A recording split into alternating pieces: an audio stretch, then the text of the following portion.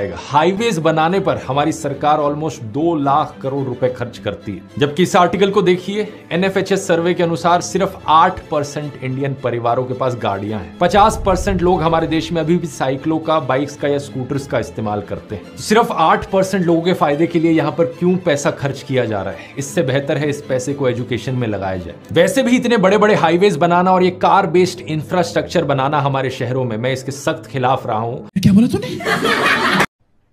अरे कहना क्या चाहते हो? सड़कें बहुत मायने रखती है, किसी भी जगह के लिए। अमेरिकी राष्ट्रपति ने कहा था कि अमेरिका की सड़कें इसलिए अच्छी नहीं है कि अमेरिका विकसित है, बल्कि अमेरिका विकसित ही हुआ इसलिए क्योंकि यहाँ पे सड़कें अच्छी थी। अगर किसी भी राज्य में एक्सप्रेस वे का जाल बिछा हुआ है, उस राज्य को आगे बढ़ने से कोई नहीं रोक सकता है। और बिहार को जो कहा जाता है ना कि आगे बढ़ेगा आगे बढ़ेगा, यहाँ पे लॉजिस्टिक कॉस्ट 18 परसेंट है। मतलब एक सामान जो भी आप यूज़ करते हैं ना, उसमें 18 परसेंट पैसा केवल उसके ट्रांसपोर्टेशन का लगा है। जबकि दुनिया का कोई भी देश जो विकसित है, उसका लॉजिस्टिक परसेंट 8 परसेंट से ज़्यादा नहीं होता तो हमारे बिहार में जो महँगाई है, वो 10 परसेंट तो फालतू है। 25-25 परसेंट तक का बिहार का on an average 20 percent logistic cost है बिहार का। कई जगहों पे तो 25 परसेंट है।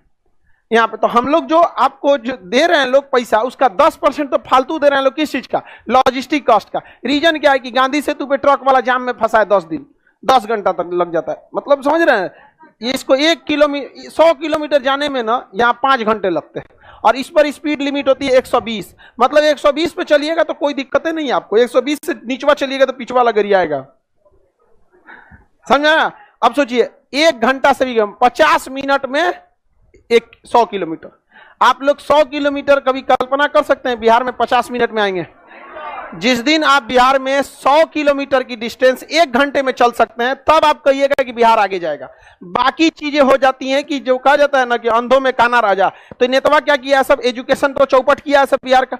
किसी को पता ही नहीं चलने देता है कि लॉजिस्टिक कॉस्ट क्या होता है टाइमिंग क्या होता है यहाँ पर कोर सेक्टर इंडस्ट्रीज़ क्या होते हैं। तो लोगों को कहेंगे, विकास हो रहा है विकास हो रहा है यहाँ पर। सौ किलोमीटर जाने में चार घंटा लगेगा। अगर कोई बड़ी कंपनी आएगी ना सबसे पहले देखती है लॉजिस्टिक कॉस्ट कितना है? कहिएगा दस परसेंट से ज़्यादा उठ के चल जाएगा यहाँ पर। यहाँ कितना परसेंट है? एवरेज है बीस।